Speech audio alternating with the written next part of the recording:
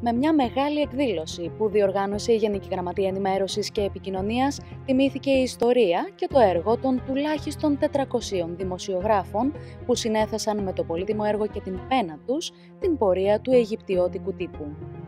Κατά τη διάρκεια της εκδήλωσης έγινε παρουσίαση του φωτογραφικού λευκόματος 150 χρόνια ελληνικός τύπος στη χώρα του Νείλου, στο οποίο αποτυπώνεται η ιστορική διαδρομή του ελληνικού Αιγυπτιώτικου τύπου από το 1862 μέχρι σήμερα.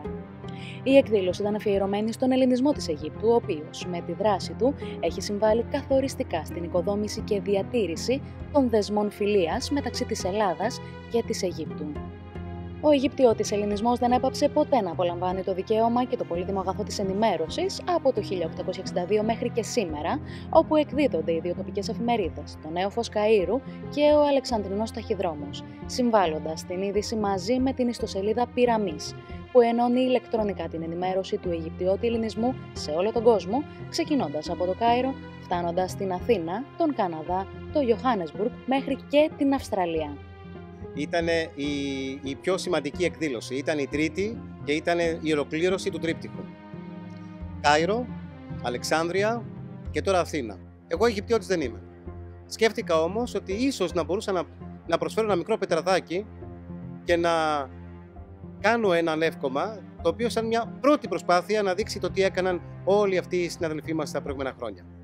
Δεν ξέρω αν το κατάφερα, αλλά πιστεύω ότι έκανα την αρχή και αυτό είναι το σημαντικό. Στην εκδήλωση μίλησαν ο Γενικός Γραμματέας Ενημέρωσης και Επικοινωνίας Λευτέρης Κρέτσος, ο Υφυπουργός Εξωτερικών Γιάννης Αμανατίδης, ο αναπληρωτής Γενικός Διευθυντής της Γενικής Γραμματείας Απόδημου Ελληνισμού του Υπουργείου Εξωτερικών Δημήτρης Πλευράκης, ο Σεβασμιότατος Μητροπολίτης Γουινέας κ. Γεώργιος, ο Αλέξανδρος Τριανταφυλλίδης, πρόεδρος της Μόνιμης Επιτροπής της Βουλής για τον Ελληνισμό της Διασποράς, ο πρέσβης της Αιγύπτου στην Ελλάδα κ. Αχμέντε Ελμπιντέουι, ο πρέσβης της Ελλάδας στην Αίγυπτο Χριστόδουλος Λάζαρης και η Αιγυπτιώτησα επιχειρηματίας και χορηγός του Λευκόματος Εκατερίνη Σοφιανού Μπελεφάντη. Για μένα προσωπικά που έχω γεννηθεί και έχω μεγαλώσει στη χώρα του Νείλου, στο Κάιρο της Αιγύπτου, η παρούσα εκδήλωση αποκτά ιδιαίτερη σημασία διότι αποδεικνύει περίτρανα και στις νέες γενιές Ελλαδιτών την παραδειγματική αφοσίωση των αποδήμων Ελλήνων για την ανάδειξη της πατρίδας μας. Την παρουσίαση έκανε ο επιμελητής του Λευκόματος Νίκος Κάτσικας, ενώ την εκδήλωση συντόνισε ο Αιγυπτιώτης δημοσιογράφος Νικόλας Βουλέλης.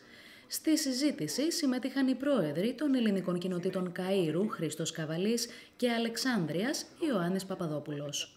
Η εκδήλωση που κάναμε ήταν σημαντική, διότι ουσιαστικά βασίζεται σε μία πρώτη απόπειρα καταγραφής μια συνολικής ιστορίας παρουσίας ηχηρής του τύπου του ελληνικού στην Αίγυπτο, που είναι μιας διάρκειας μεγα... μεγαλύτερης των 150 χρόνια. Και αυτή η παράδοση, αυτή η πορεία συνεχίζεται. Πρέπει να κεφαλαιοποιήσουμε τις καλές σχέσεις που υπάρχουν ανάμεσα στις δύο χώρες, και να ενισχυθεί ο τύπος, διότι ο τύπος δεν είναι μόνο ένα κύτταρο δημοκρατίας, είναι ένα μέσο διάδοσης της γλώσσας ε, και αν θέλετε και είναι ένα ε, εργαλείο συμμετοχής των πολιτών ε, στα κοινά. Ο τύπος στον ελληνισμό της διασποράς είναι ο συνεκτικός και ο συνδετικός κρίκος τόσο ανάμεσα στα μέλη της ομογένειας και έχει και το ρόλο της διατήρησης της γλώσσας αλλά και του πολιτισμού και αυτό που είπα προηγουμένως στη διασύνδεση ανάμεσα στα μέλη της Ομογένειας αλλά και με την πατρίδα, όσο και με την προβολή του οικουμενικού ελληνισμού, όχι μόνο στον τόπο όπου είναι η διασπορά, αλλά συνολικά στον, στον κόσμο όλο. Η σπουδαιότητά του μεγάλη και η στήριξη την οποία πρέπει και οφείλουμε να δώσουμε σαν πολιτεία, ε, νομίζω ότι θα είναι ε, έμπρακτη πλέον. Έχουμε αυτή τη στιγμή έντυπα στο Johannesburg, ε, στην Πρετόρια. Έχουμε εφημερίδες, άπειρες εφημερίδες στην Αμερική, στην Αυστραλία, Έχουμε κοινότητες εκεί πέρα που έχουν και χρήματα και μπορούν να βοηθήσουν. Αυτήν την μία και μοναδική Ελλάδα πρέπει όλοι μας να βοηθήσουμε. Και αν το πετύχουμε αυτό, θα δείξουμε την άλλη Ελλάδα.